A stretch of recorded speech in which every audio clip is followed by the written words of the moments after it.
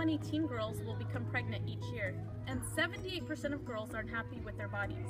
At Girls Inc., we inspire all girls to be strong, smart, and bold. And through the Bold Futures Mentoring Project, we're providing opportunities for girls to develop meaningful mentoring relationships that allow them to explore their interests, gain self confidence, and gain a strong sense of self. We are at Girls Inc. Carpinteria headquarters. Um, this is where I do all my planning for programming in Santa Paula. Um, what do I see really going on in Santa Paula?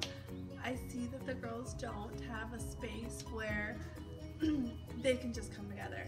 Um, I see that they don't really have a space where them and their parents can come together and create those bonds. Um, I feel like it affects the girls because they oftentimes feel like um, they don't have anywhere to go. They don't have anywhere where them and their parents can just spend some quality time together.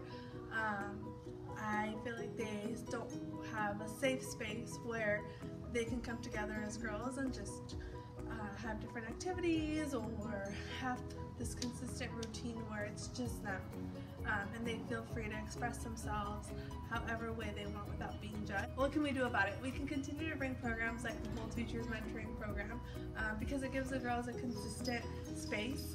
Um, it gives the girls a weekly mentor that comes to them and uh, helps them create those bonds. And it also gives us opportunity to bring parent engagement nights where we continue to uh, fortify those bonds between the girls and their parents.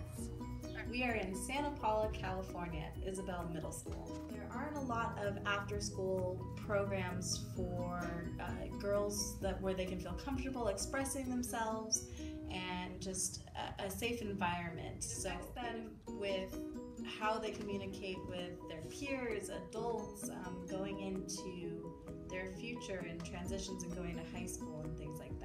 So, what we can do about it as mentors is create that safe space for them to feel comfortable in expressing their emotions, their hopes, their dreams, and then helping them communicate those in a healthy manner.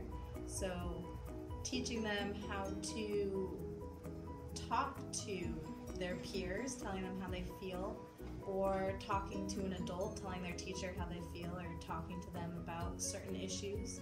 Um, eventually that can lead to a healthy future where they can express and go after things that they want and uh, help them feel successful We are in Santa Paula, it's a middle school. And what's really going on here? That we don't have an environment just for us girls to be talking about our problems. How does it affect us? It affects us by not having the confidence of talking about ourselves with other girls up in Brazil. What can we do about it? You can have a group like Girls Inc. to help us talk with our mentors.